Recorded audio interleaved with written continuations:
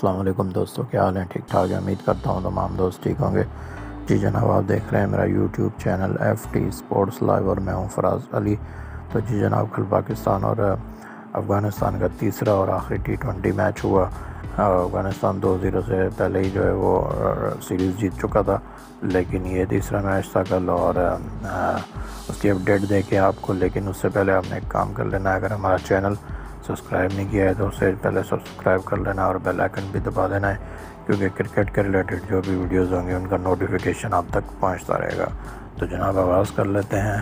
आ, कल पाकिस्तान और अफ़गानिस्तान के दरमियान तीसरा टी ट्वेंटी मैच हुआ जब टॉस हुआ तो टॉस जनाब जीता है अफ़गानिस्तान के कप्तान राशिद खान ने और राशिद खान ने पहले बॉलिंग का फ़ैसला किया जैसे दो मैचेस में पहले उन्होंने बॉलिंग की थी। तो इसमें भी जो है उन्होंने बॉलिंग का फ़ैसला किया और शदाब से जब पूछा गया तो आप क्या करते? टॉस जीते तो उन्होंने खोला हुआ कि मैं भी बॉलिंग करता। तो पहले दो मैचेस में शदाब ने टॉस जीता था और बॉलिंग की थी सॉरी बैटिंग की थी और फिर आपने देखा कि 92 और 130 रन बनाए थे।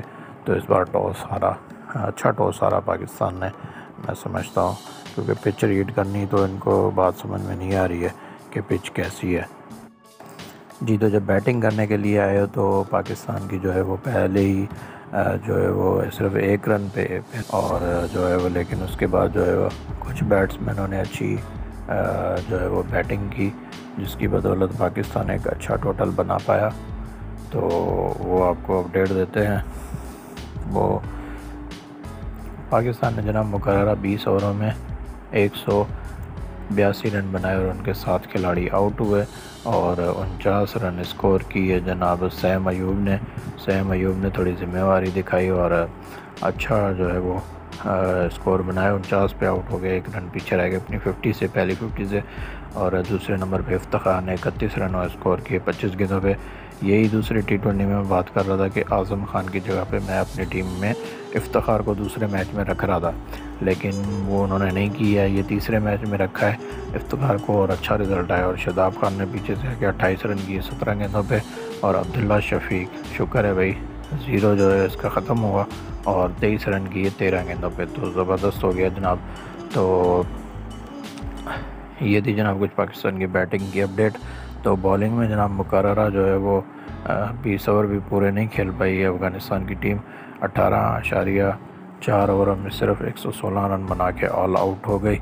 पाकिस्तान की बॉलिंग की अगर बात करें तो शदाब खान ने तेरह रन दे के चार ओवरों में तीन विकटें ली और हंड्रेड विकेट में मुकम्मल हुई इनकी। दो विकटें चाहिए थी इनको। पहले दो मैचेस में विकटें नहीं मिली थी। तो तीन विकटें ले गए, सौ विकटें लेने वाले पहले पाकिस्तानी बॉलर बन गए। उससे पहले शायद अफरीदी थे जिनकी नाइन्टी सेवन थी सॉरी नाइन्टी एट थी। तो अब जो है वो शादाब खान की 101 है। तो शादाब खान ने जनाब तीन खिलाड़ियों को आउट किया। एहसानुल्ला ने भी बड़ी ज़बरदस्त बॉलिंग कराई। तीन खिलाड़ियों को उन्होंने आउट किया, उनतीस रन दे के।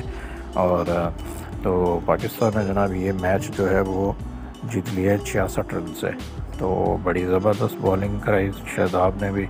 और अपना एहसानुल्ला ने भी। तो ये मैच जो है जनाब पाकिस्तान जीत गया है। और छियासठ रन से बड़ी ज़बरदस्त परफॉर्मेंस दी पाकिस्तान के बैट्समैनों ने और थोड़े थोड़े रन सबने किए, अपनी गलतियों को नहीं दोहराया और जिसका उनको फ़ायदा भी हुआ।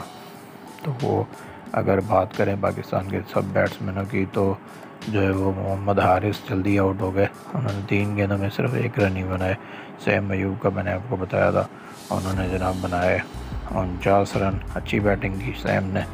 और क्योंकि पिच भी थोड़ी बेहतर थी, उसके बाद तैयब ताहिर दस रन बनाए, अब्दुल्ला शफीक ने तेईस रन बनाए और उसके बाद इफ्तार ने इकतीस। इफ्तार के बाद जनाब आए इमाद वसीम। इमाद वसीम ने तेरह रन किए, सात गेंदों पे।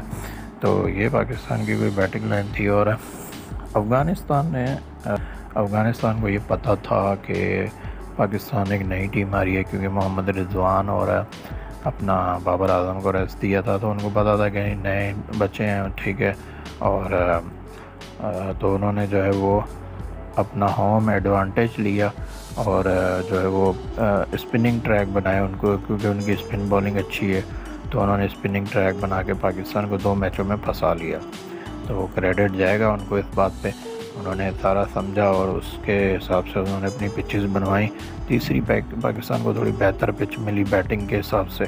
तो पाकिस्तान ने 182 बोर्ड पे लगा दिया स्कोर तो आ, अगर यही दोनों आ, पहले दो मैचेस में यही बैटिंग ट्रैक होते तो शायद मैं भी two two hundred two hundred twenty भी ये लोग कर सकते थे। इतने अच्छे टैलेंटेड प्लेयर हैं सैम अयूब और मोहम्मद हारिस हो गया, सैम हो गया, अपना तैयब तायर हो गया। ये लोग जो है वो पाकिस्तान में पी में बड़ी ज़बरदस्त परफॉर्मेंसेस देखे गए हुए हैं। और अगर बैटिंग ट्रैक मिलेगा तो ये बड़े अच्छे टैलेंटेड प्लेयर हैं। हाँ ये है कि थोड़ा नए हैं तो इनको जो है वो इतनी जो है वो बॉलिंग ट्रैक पे जो है वो बैटिंग करने का भी वो एक्सपीरियंस नहीं है। तो इसी वजह से रिजवान और बाबर जो है वो थोड़ा एक्सपीरियंस हो गया उनको तो वो उनको पता है कि कैसे खेलना है। जैसे इफ्तार हो गया, इमाद हो गया, उनको थोड़ा एक्सपीरियंस था तो वो ये खेल रहे थे। हाँ तो यही तभी मैं कह रहा था कि इफ्तार को जो है ना वो इन मैचेस में होना चाहिए था, क्योंकि इतने यंग प्लेयर हैं, उनके साथ थोड़ा एक्सपीरियंस भी होना चाहिए था। जैसे इमाद था, इफ्तार को भी होना चाहिए था। आज़म खान को अच्छा बिठाया। आज़म खान विकेट कीपरिंग में भी फंबल कर रहा था और अपना बैटिंग भी कोई इतनी अच्छी नहीं कर रहा था। दो मैचों में दोनों में फ़ेल हुआ तो सही बिठाया आज़म को और उसके अलावा एक और चेंज भी की थी। नसीम शाह की परफॉर्मेंस भी अच्छी नहीं हो रही थी तो नसीम शाह को बैठा के मोहम्मद वसीम जूनियर को खिलाया और उन्होंने भी एक खिलाड़ी आउट किया। तो जनाब, ये थी कुछ पाकिस्तान और अफ़गानिस्तान की अपडेट तो टूर हो गया है मुकम्मल। तो अब जो है वो पाकिस्तान का नेक्स्ट टूर है। तो उसका शेड्यूल भी मैं आपको बता ही देता हूँ, लगे हाथों। तो जनाब शेड्यूल उसका ये है न्यूजीलैंड और पाकिस्तान का जो है वो अब टी ट्वेंटी सीरीज़ होनी है और उसके अलावा बाद में ओ डी सीरीज़ तो सबसे पहले आपको टी ट्वेंटी बता देते हैं। जनाब, पहला टी ट्वेंटी है चौदह मार्च को, ओ सॉरी, चौदह अप्रैल को।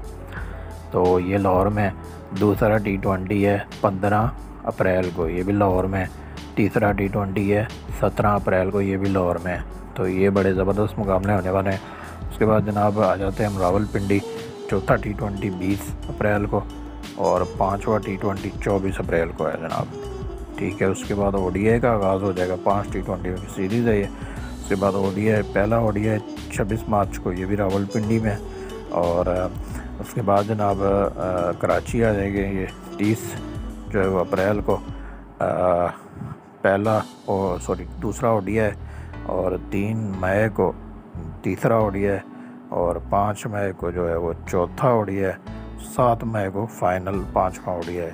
तो ये पाँच टी ट्वेंटी और पाँच वनडे मैच जो है वो खेलने के लिए न्यूजीलैंड की पाकिस्तान का दौरा कर रही है। टीम का ऐलान न्यूजीलैंड ने कर दिया है और काफ़ी नए चेहरे हैं क्योंकि इनके जो सीनियर प्लेयर हैं वो आईपीएल खेलने के लिए जा रहे हैं। तो उन्होंने जो है वो इजाज़त ले ली है टी ट्वेंटी में तो उनको इजाज़त मिल गई है ओडीआई की टीम का अभी अनाउंस नहीं हुआ है।